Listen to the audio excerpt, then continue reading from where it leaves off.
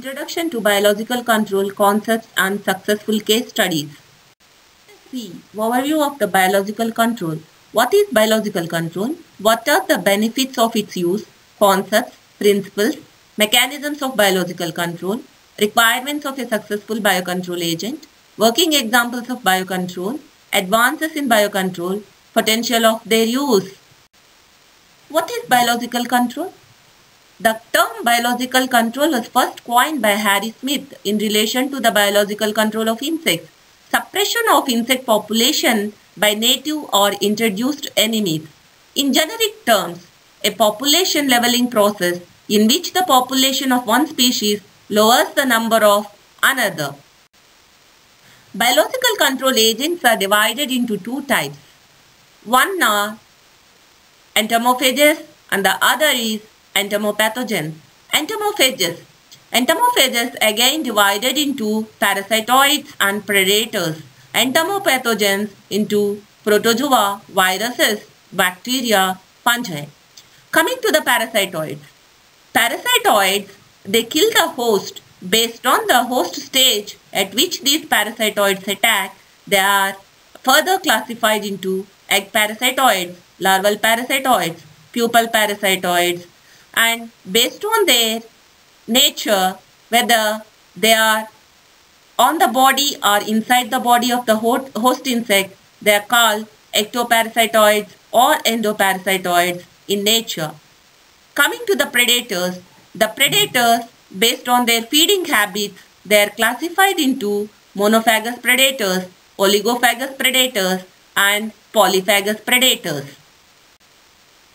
A parasitoid is an organism that spends a significant portion of its life history attached to or within a single host organism in a relationship where the host is ultimately killed. That's why these parasitoids require only one host which it kills for its development into a free living adult.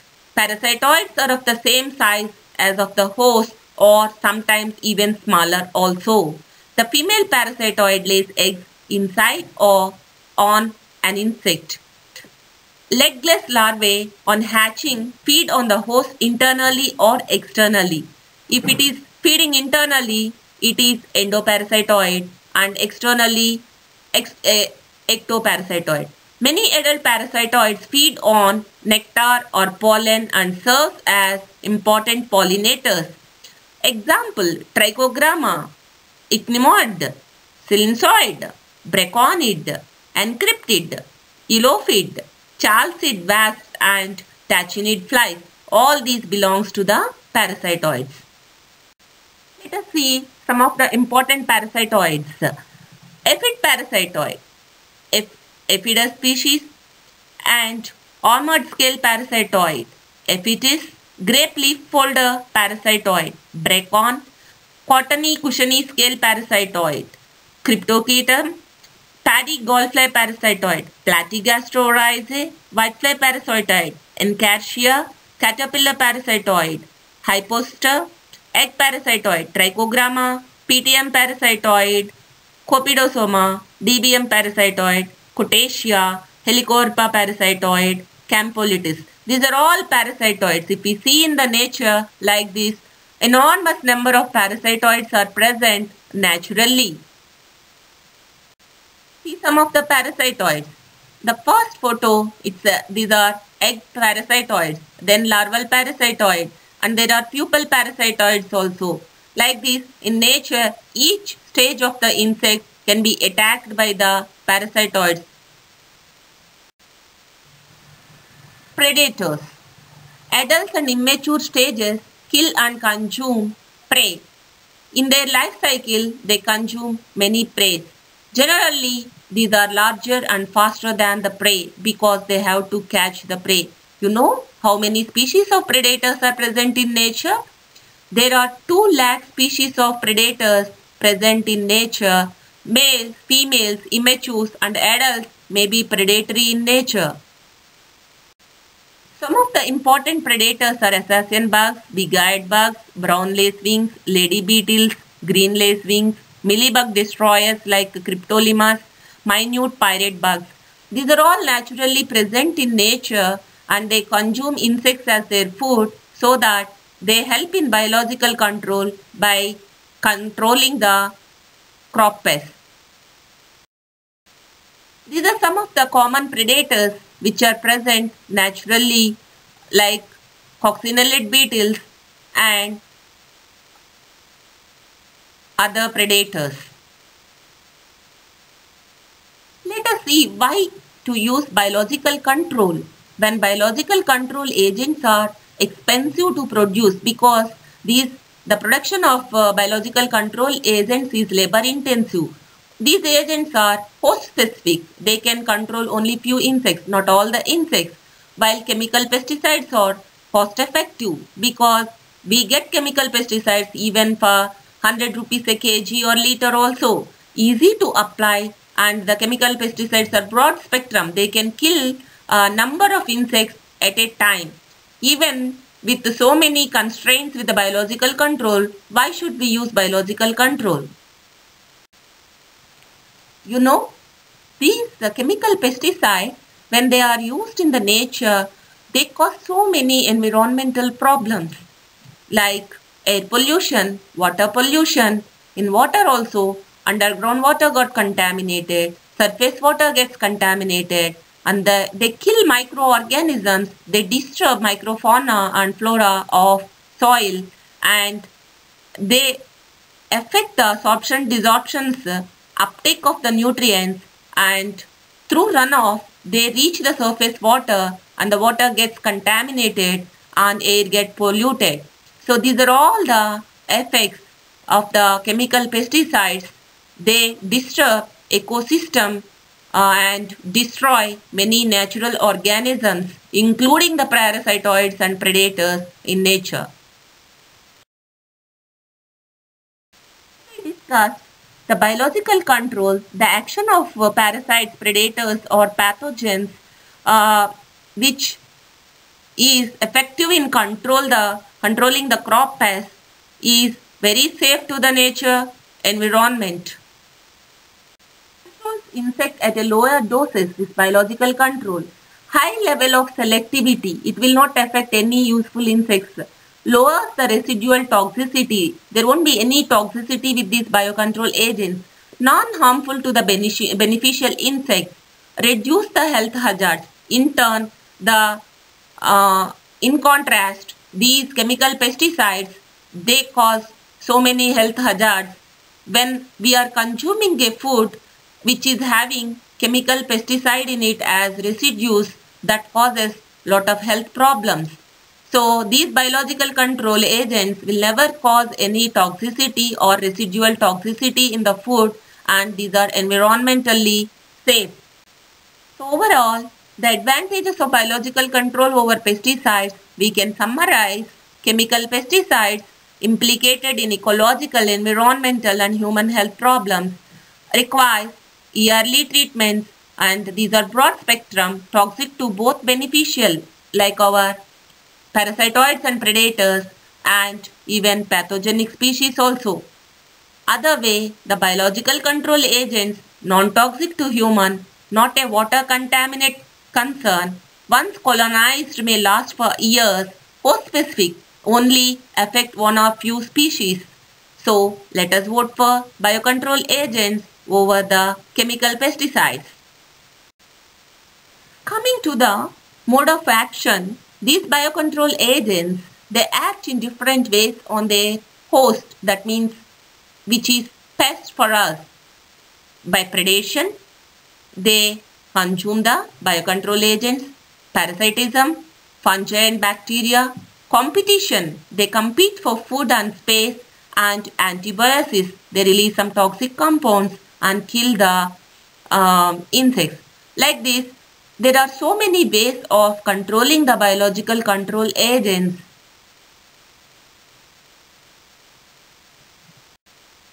So the biological control can be classified into classical and introductory releases and augmentation. Classical biological control which is nothing but going to the origin of the pest and searching for its natural enemies and bringing and introducing in an area if any invasive pest attacks. And coming to the augmentation, it, it may be inoculation or inundation. But the best way of biological control is conservation. Manipulating the environment to favor the pest is nothing but conservation.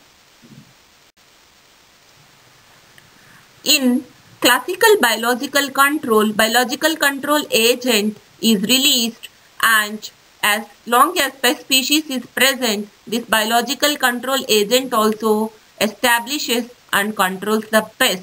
In case of inoculative release, as long as pest is there, biological control agent controls the pest but it does not persist.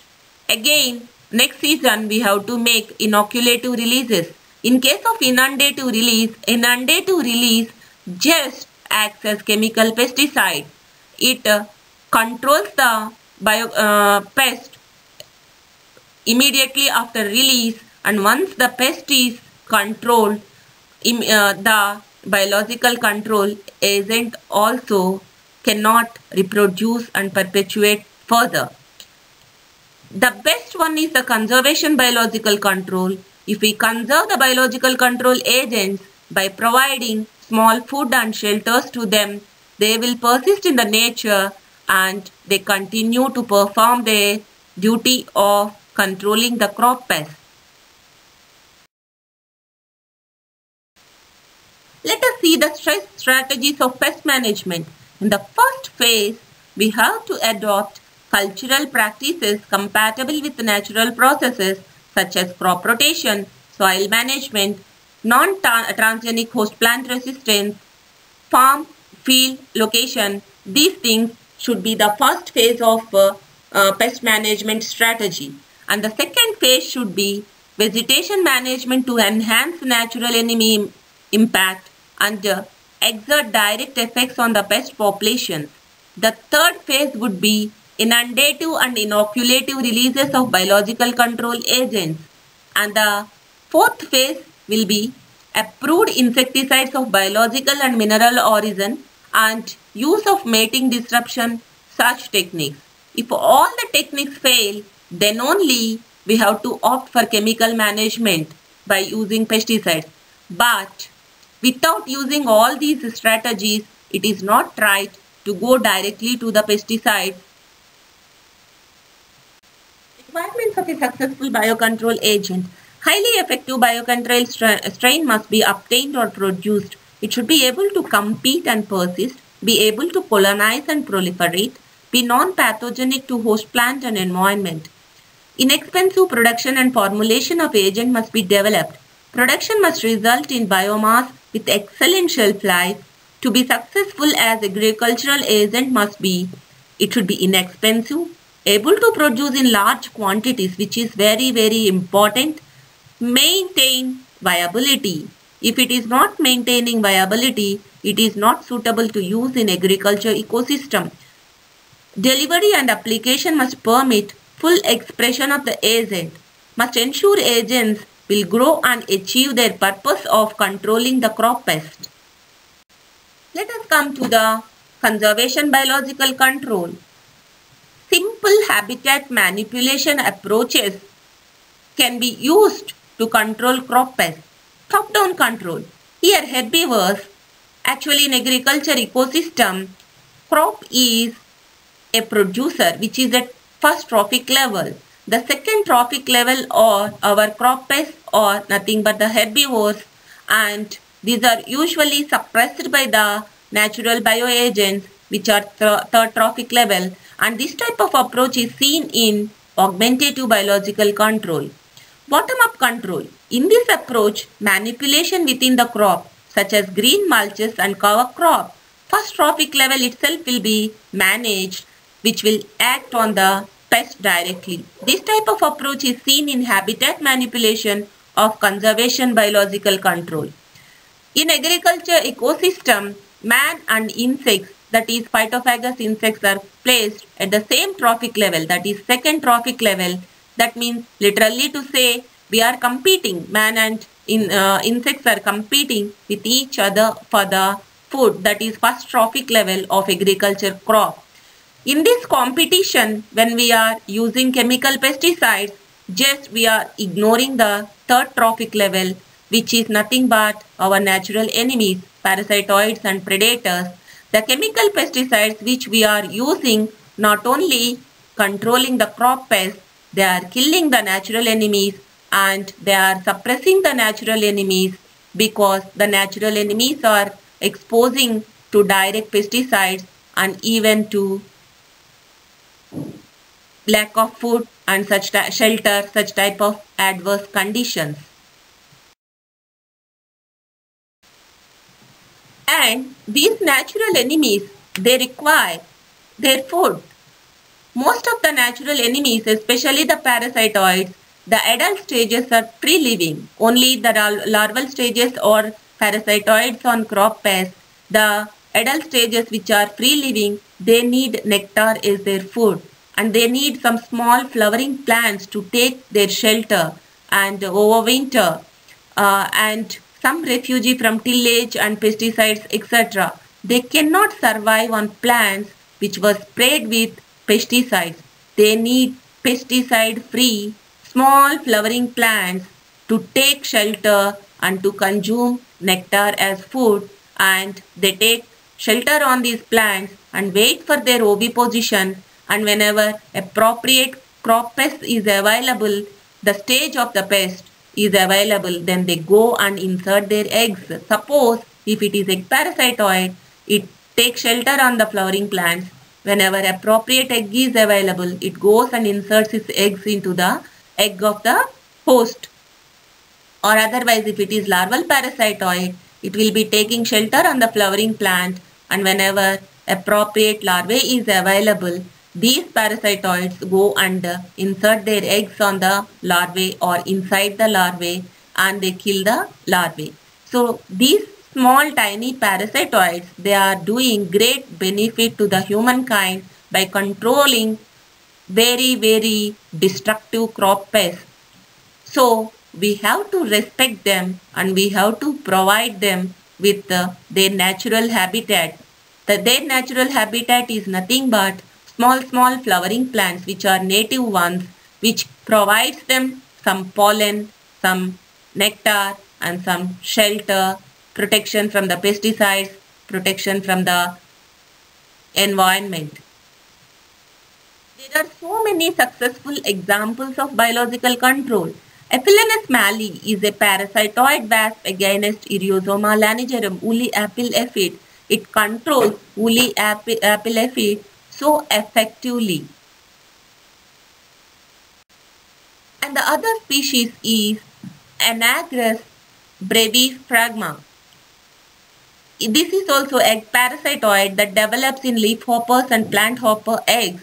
It inserts its eggs into the leafhopper and planthopper eggs in the vegetable tissues and its host range varies depending on the season.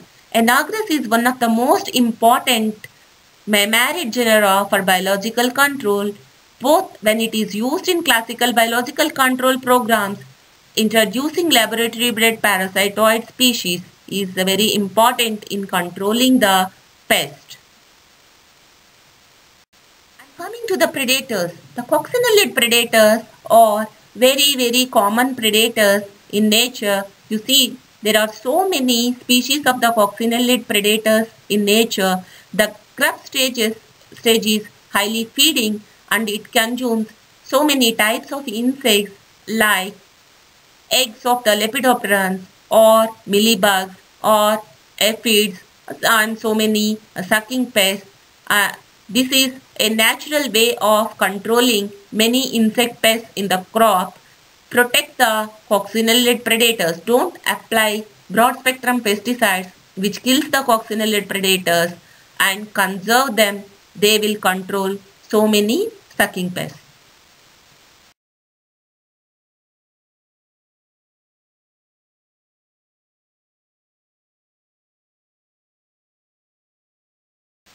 Brown beetles are also a type of predators they consume 3 to 5 larvae per day and even in the scarcity of food, they will survive for many days until they get the food.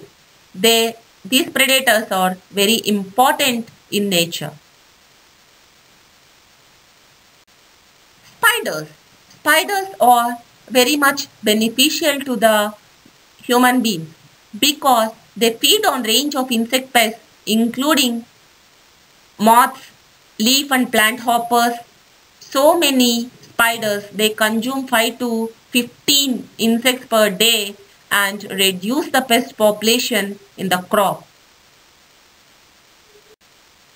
Mirid bug feeds on leaf and plant hopper eggs and nymphs. 7 to eggs are 1 to 5 hoppers per day and they control the crop pest.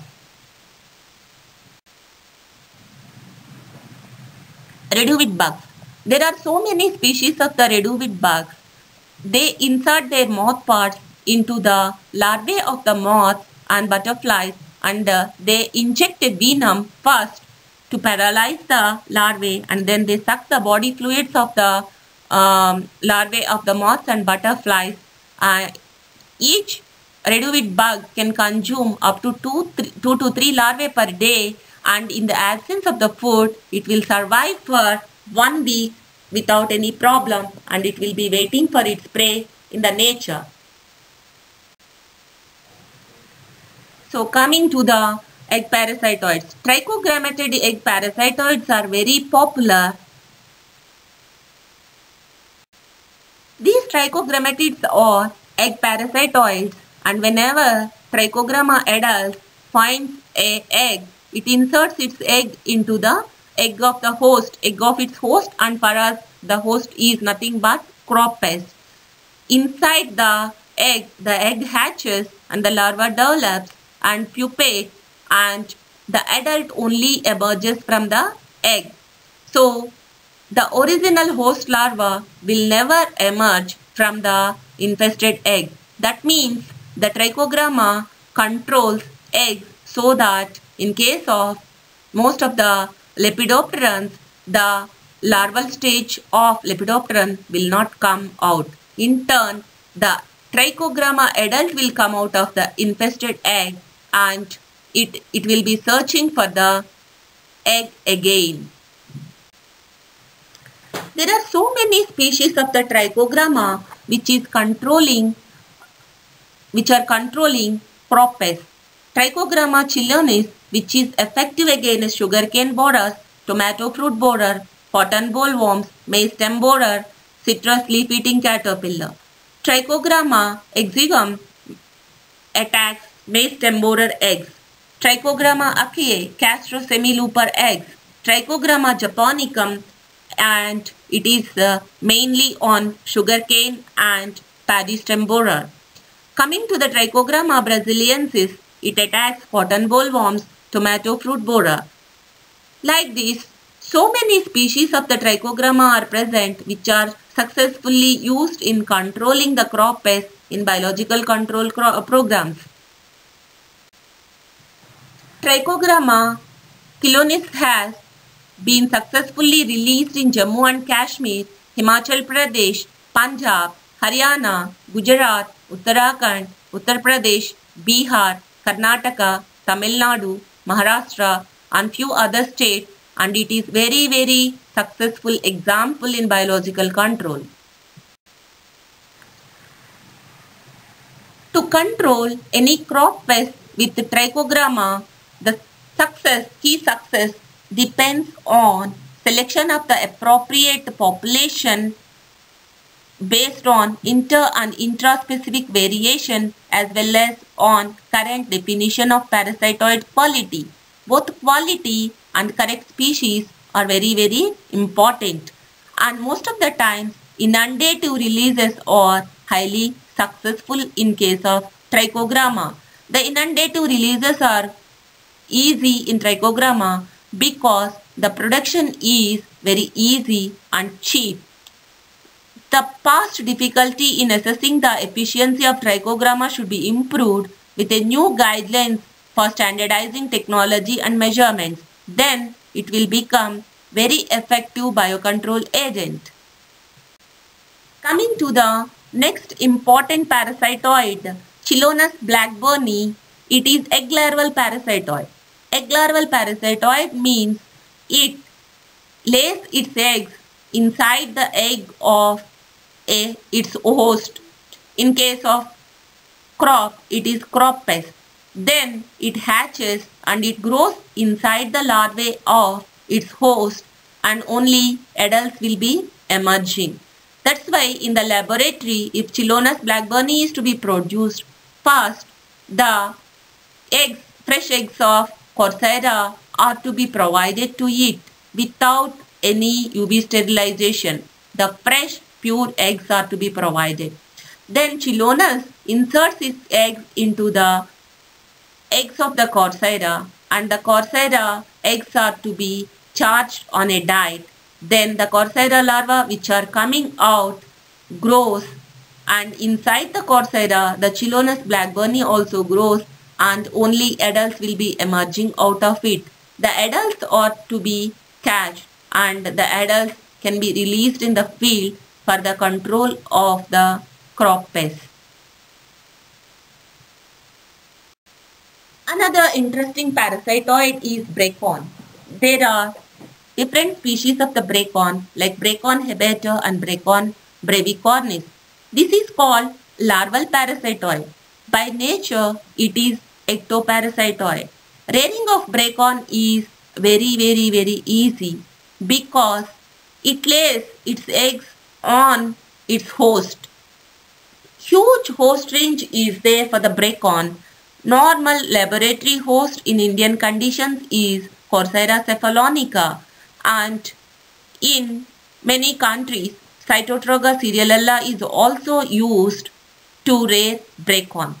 Bracon can be grown on Galleria and, uh, and so many insects and it has uh, the power to control many insects like Flodia and semiloopers like Achaea and cabbage head borer like Hellula and the most important pod borer Helicoverpa armigera and Maruca testulalis, spotted budworm Earias vittella, tobacco caterpillar Spodoptera litura, cabbage leaf webber, Crocidolomia, like this, it is effective on many, many, many insects. Even it can attack cotton pink bollworm Pectinophora gossypiella, but unfortunately, it is uh, inside the boll. So the bracon, uh, we can rear in the laboratory. Once the bracon lays its eggs on the la uh, larvae, the larvae can be separated and placed in a petri plate. It pupates and adults emerge from the pupae. The adults can be released in the field directly or the pupal cards can be placed in the field. Once the adults comes out, it uh, controls so many crop pests. That's why it is very very useful parasitoid uh, for rearing in the lab and releasing in the field and controlling many pests as a biological control agent. Coming to the reduvid predator Rhynocoris marginatus and uh, Rhynocoris fuscipes. The reduvids are very very important predators. These insert their mouthparts into the larvae and they suck the juices and control the larvae.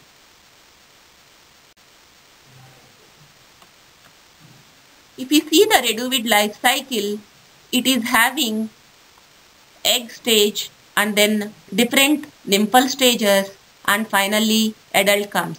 All the nymphal stages including the adult stage they suck the um, uh, contents of the larvae, fluid contents of the larvae and kills the larvae.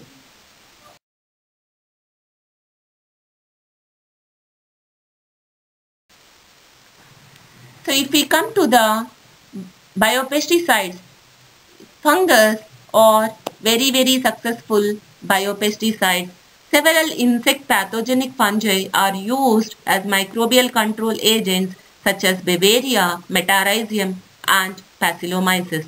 These are most often used against foliar insect pests in greenhouses or other locations where humidity is relatively high. We all know that humidity is key factor for the development of the fungal pathogens on insects. Lecanicillium lecanii, earlier it was called as Verticillium lecanii, infests sucking pests like whitefly, green scales and controls them. So you see Lecanicillium lecanii on aphids and mealybugs causes a fungal disease. Beauveria bassiana, which is also a very very important fungal pathogen on insects, it infests both sucking pests and caterpillars. It infests ligers, spiders, silkworms, hairy caterpillars. Irrespective of the order, it attacks many insect pests and causes fungal disease to the insects and controls the crop pests. Beauveria bassiana on coffee borer beetle, thrips, armyworm larvae, whitefly. You see, it, it causes fungal disease. Metarhizium anisopliae infests weevils, beetles and grasshoppers. You see the Metarhizium infestation on weevils and grasshoppers.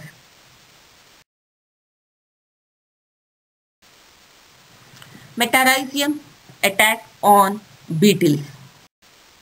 Apart from this, there are the, these are another category of biopesticides. The biopesticides which kills the diseases in which controls the diseases in insects like trichoderma and pseudomonas. Trichoderma controls fungal diseases in plants and pseudomonas also controls fungal diseases. But trichoderma is a fungus which controls fungal diseases and pseudomonas is a bacterium which controls the fungal diseases. Pseudomonas acting as a biopesticide and it also provides nutrients to the plant. Plant growth promoting nutrients it supplies to the plant. The, both of these helps in controlling both diseases and helping plants to grow healthy. So these are all the pesticides which are recommended in organic farming. Whatever biocontrol agents we saw till now, they, all the parasitoids, predators, trichoderma, pseudomonas, all are recommended in uh, organic farming. Apart from that, the microbial biopesticides like Bacillus thuringiensis, which is a bacterium which controls the insects, and botanical insecticides like pyrethrum and neem, and fungal derivatives like spinosad, mineral, minerals like kaolin clay, these are also approved in organic farming. Coming to the recent advances in the biological control, conservation biological control is gaining importance nowadays. We have to conserve the biocontrol agents and provide some food and nutrition for the biocontrol agents for sustainable agriculture. Providing honeydew as a food source for natural enemies is a concept. Artificial food sprays and providing shelter habitats, chemical ecology and conservation biological control, natural enemy diversity and CBC at landscape scale and CBC, Conservation Biological Control, as provider of multiple ecosystem services are getting popularity nowadays. Challenges of the biological control. These biological control agents, the major demand is the change in management practice. That too, the first thing is pesticide consumption they cannot tolerate pesticides. We have to turn to pesticide free farming. That is the primary requisite for the biological control agents use. Next is getting food and shelter for them. We have to encourage polyculture and growing some flowering plants on bunds and near the farm. These are the demands and we need to change our management practices in the cropping system and it needs increased scouting and monitoring effort. When pest is not there, if we release the biological control agents, they will not get their food. That, that means we have to increase our scouting and the monitoring effort and whenever it is required, then only we have to release the biocontrol agent. An intrinsic time delay. The day when we want, we cannot produce biocontrol agent. It needs lot of planning and production of the host first and production of the biocontrol agents on, in the laboratory are required. This most of the times delays the release of the biocontrol agents in the field and after release also they need some time to act upon and control the pest. And increased risk of new biocontrol agents may cause harm, uncertainty about survival and adaptation. Even though all these things were taken care, the new biocontrol agents which we are releasing may not adapt and they may not uh, uh, survive and they may not control the pest sometimes. And they need their own requirements, reliability. Always a potential for pest to escape control is, is also a problem with the use of the biocontrol agents. So ultimately, even though biological control is having its own challenges, but it is uh, economical, environment friendly, and it is for sustainable agriculture. Reduce pesticide use and promote organic farming and encourage biocontrol agents. Conserve them, protect them for sustainable agriculture. Thank you.